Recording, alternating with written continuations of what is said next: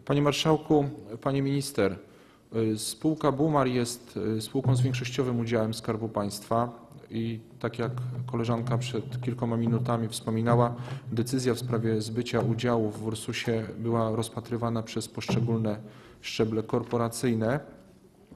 Ministerstwo Skarbu Państwa y, w odpowiedzi na moją interpelację zapewnia, że dokonało kompleksowej i wnikliwej oceny warunków przeprowadzenia transakcji przez Bumar. Od ministra Skarbu Państwa otrzymałem również wyjaśnienie, że nie dostrzeżono jakichkolwiek przesłanek formalnych, prawnych czy ekonomicznych, które mogły poddawać pod wątpliwość zasadność i warunki przeprowadzenia transakcji Bumar-Warfama.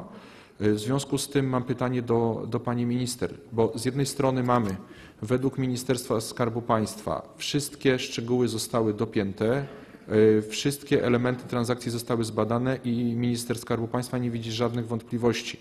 Z drugiej strony mamy ludzi, którzy zostali na lodzie bez wynagrodzenia. Proszę panią minister o y, opinię, o wyjaśnienie, y, jak Ministerstwo y, Polityki prowadzone przez panią tą sprawę postrzega.